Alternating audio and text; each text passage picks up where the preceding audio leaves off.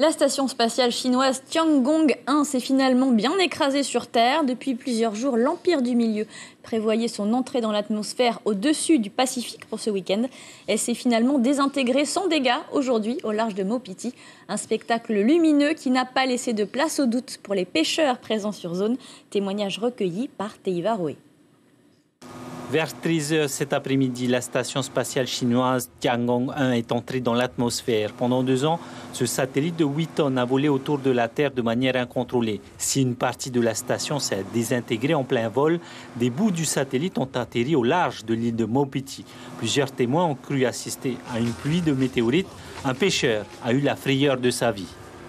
J'ai eu un appel d'un pêcheur euh, par radio que les débris du satellite est passé à côté de, son embarcation. Il est entré en collision entre Montpetit et Montpellier, tout près de Montpetit. Il a effectivement aperçu le, quelque chose dans l'atmosphère qui, ressemble à un satellite, effectivement, et que c'est passé à côté de son embarcation et il a vu l'impact de la mer. J'espère que lui n'est pas, touché.